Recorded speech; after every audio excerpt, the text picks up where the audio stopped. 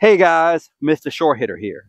I hope you can hear me because I'm out on one of the windiest days that I've played golf in. Today's video, a requested video for Subscriber Sunday. I'm gonna play a little golf and go over some golf rules for you. The first thing is when you play, you wanna make sure you identify your ball. Got a Srixon 4 here with some orange lines on it. I think they used to be red.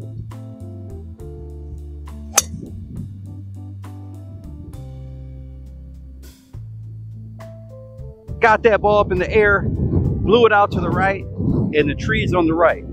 So what I'm going to do, play a provisional, just in case that ball's lost in the trees. You can play a provisional if the ball's lost in the trees, if you think it might be out of bounds. You cannot, however, play a provisional if you think the ball may be lost in a penalty area. I'm gonna play a Srixon 1 with this Mistah Short Hitter logo on it. So I'm going to tell my playing partners I am playing a provisional. I'm going to tell them it's a Srixon 1 and the logo on it before I hit. You have to make it clear that you're hitting a provisional. You can't just say, I'm hitting another one. You can't just tee it up. You must let them know you're hitting a provisional and identify that ball.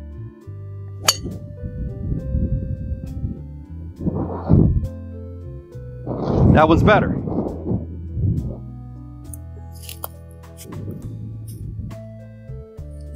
We now have a three minute search for lost balls instead of five minutes. We used to have to really worry if we're searching for our own golf ball, but now if somehow we kick our ball in searching for it, we're going to simply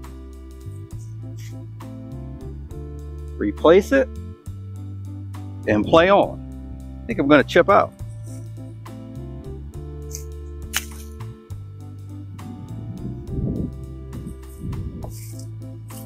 Let's talk a little bit about penalty areas. Now in penalty areas, as long as we don't disrupt or change the condition of our ball, we can take practice swings just like we were in the fairway. We can ground our club now in a penalty area without fear of a penalty. So in a yellow penalty area, we have two options. If your ball went in the creek here, you want to imagine an imaginary line that goes from that flag through your ball and you can go straight back on that line as far as you can or you can just replay your previous shot. In this instance, that'd be a pretty good spot. In a red penalty area, we have the same two options as we had before. We can go back to our previous shot, which was off the tee, about 210 away. We can take back in line relief, so that would be going that way, but we have an additional option of two clubs where it entered and last crossed the margin of the hazard. So in this instance, we can take two club links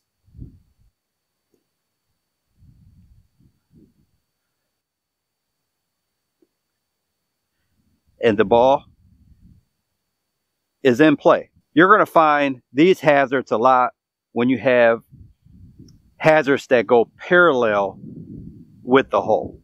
So you don't have to drop it back 300 yards where that hazard starts. You don't have to go all the way back to the tee. You can drop it a little bit closer. And in this instance, it would be a little bit of an advantage because I would either have to drop the ball behind the creek there or go back to the tee. So probably save myself a half a shot here, even though I have a one stroke penalty. Another thing to keep in mind, guys, I drop the ball here and I go walk around looking at the line, looking at the shot, gauge my distance, and I come back and look and the wind blows that ball into the water. I get to actually replace it with no penalty. So guys, this fence is an immovable obstruction. We can't move this without considerable effort. if it interferes with our stance, which obviously it does in this instance, or our area of intended swing, which is towards that flag, we're going to get relief from this obstruction. So when we take relief, we need to always make sure we're taking full relief. We get one club length, full relief. So I'm going to say right here, it's no longer in my backswing. That's full relief. So we're going to get one club length from here. So I'll put a tee down.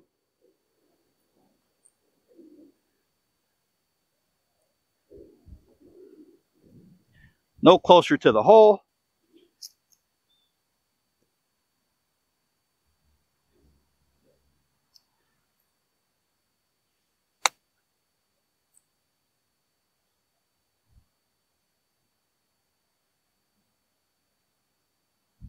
It's a tough lie. One important thing to know is the distinction between an immovable obstruction, such as that fence, a utility box, some type of building on the courts for maintenance, versus a fence that designates out of bounds. This fence is an out of bounds fence. So I do not get relief whether this is in my stance or my swing so my options are going to be to either take an unplayable, two club lengths, no closer to the hole. Another option is to go back to where we hit our previous shot and play our penalty from there, or to play it. So most likely, depending upon how much room you have by this fence, you may just have a little chip shot that turned out pretty good. One of the rules changes that I've kind of grown accustomed to is leaving the flag in because it helps with filming. But one thing that I still haven't gotten accustomed to is the ability to tap down spike marks now.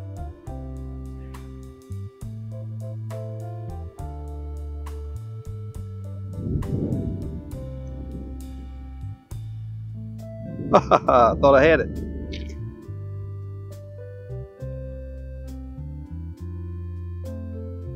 although it may be hard to contain that urge to tell your playing competitor or partner that's one, actually it's not.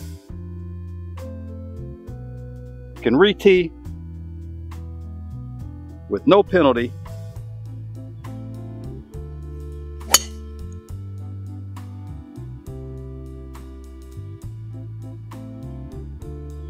if you knock the ball off the tee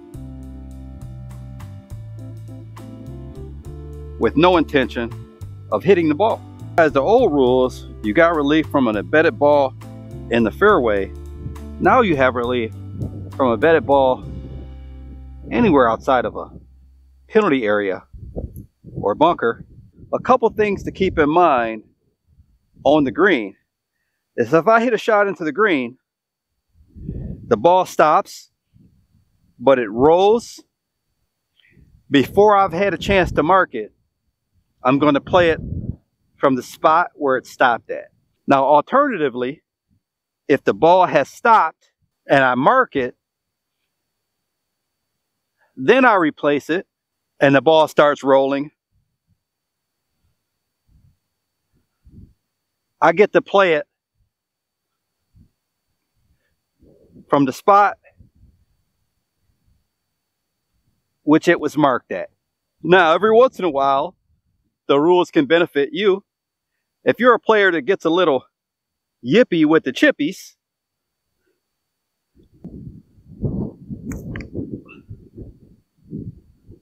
double hit it, it's no longer a penalty. A ball's on this cart path here. I've seen plenty of people get this wrong and just think they're going to drop it on the clear side so they don't have this tree to deal with that side is not nearest point of relief.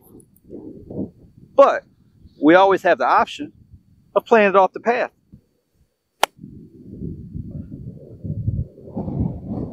I bet. So guys, lastly, there used to be a penalty stroke if your ball hit you or your equipment or your caddy. And now, unless you intentionally put your equipment somewhere to give you an advantage, there is no penalty if the ball comes back and strikes you. So you can hit your shot with no fear of your ball coming back and striking you. Five to go, just play 13. Need palm away, yeah. Gotta hit more greens.